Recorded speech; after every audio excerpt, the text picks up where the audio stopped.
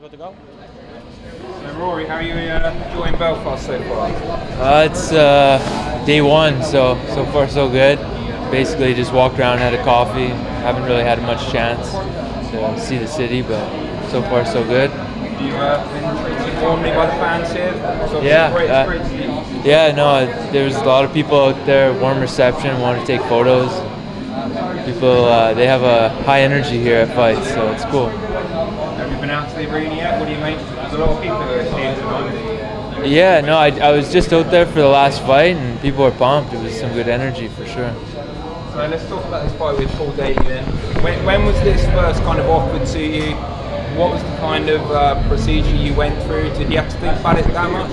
Uh, it was probably about three weeks ago, and uh, it took about a week to, you know, kind of decide because it was earlier than I expected to come back. I was hoping to come back in like say July, but uh, uh, you know, seeing how I was feeling uh, when when the when uh, the question was asked for the fight, um, I was feeling really good as far as my healing goes with my nose. So I uh, I felt confident with it, so I took the fight. And how's that nose now? Like, obviously it was breaking. You were saying quite a few times in training up the, up the last fight, especially with like Stephen Thompson.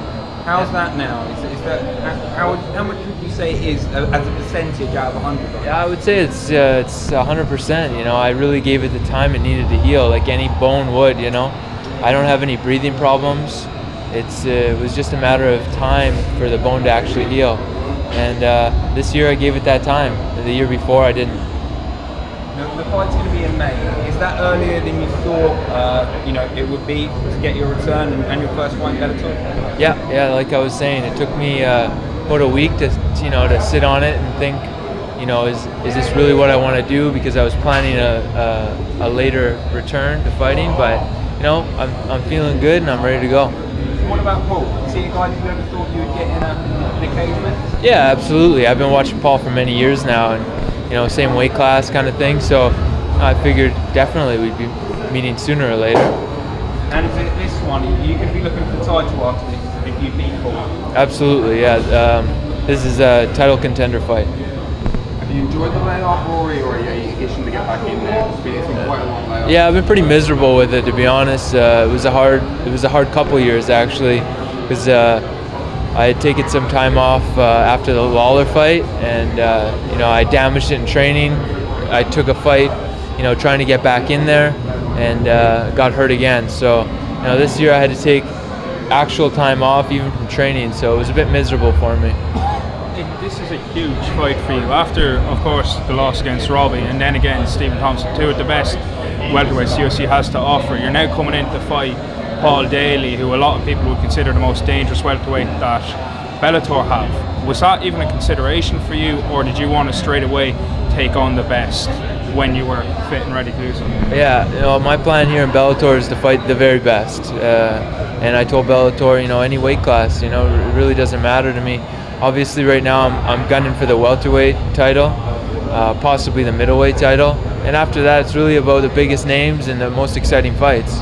Do you feel any pressure um, coming into it, Rory? With the the free agent market is it's all talked about. Fighters are moving, but you are probably the biggest name to test the free market and move to Bellator.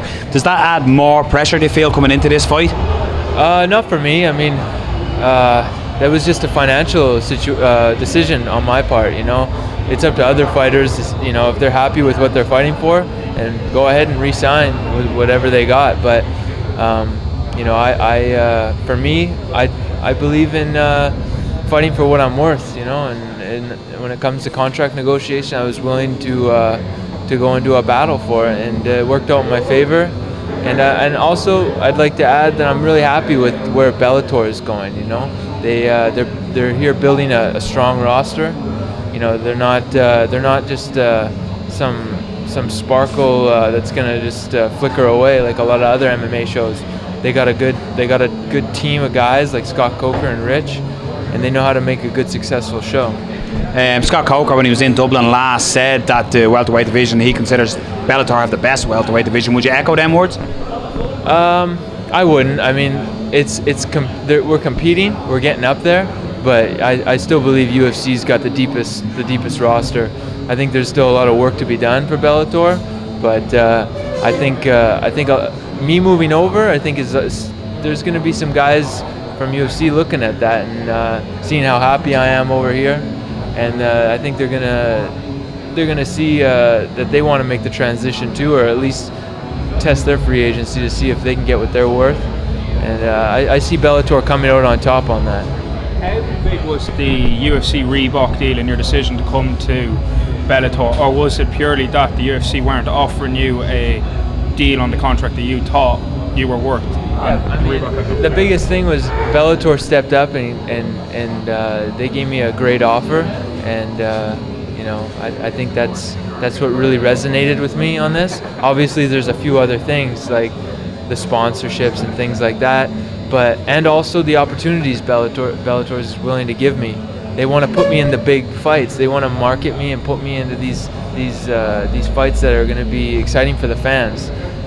UFC, you know, they've got tons of other guys that they've got to manage, and you know, sometimes they could forget about uh, other talents and, and forget about guys. And maybe, I, and I was thinking maybe I was going to be uh, one of those guys that was going to fall off their radar, you know. Your longtime teammate George St Pierre is making a comeback. Would that have been something that you would have discussed with George? Because it seemed there being negotiation was holding up his return. Did you have a word with him and say Bellator? Uh, I didn't have any part of that. Uh, we we have the same management team, so I'm sure they did, but uh, no, I didn't have anything to do with that.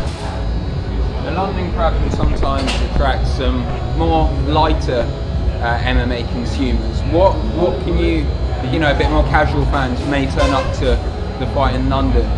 What what type of fight and what type of uh, performance can they expect from you on that? Uh, they can expect me to move forward in this fight. You know, I'm going to be hunting him down.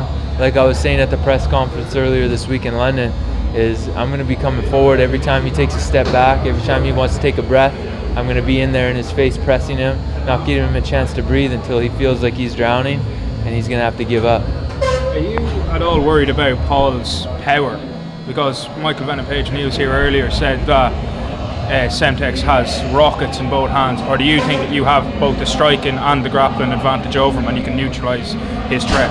Uh, I mean, I'd be stupid enough to say that he doesn't have power. I mean, look at the guy's fights. But I mean, I fought I fought some of the, the hardest hitters in the, the division, and uh, I don't think uh, my power is uh, anything to to blink on either. You know, so we'll see what happens. But uh, you know, he's definitely got some some hard punches and kicks and got some amazing striking. Those are his his assets. But uh, I just feel that I have a wider range of abilities, and I'll be able to neutralize that. One thing Paul did say when he was here with us was, yeah, he's watched your fights, but you don't have that knockout power. So what do you think of that? What, what would your reply to that comment be?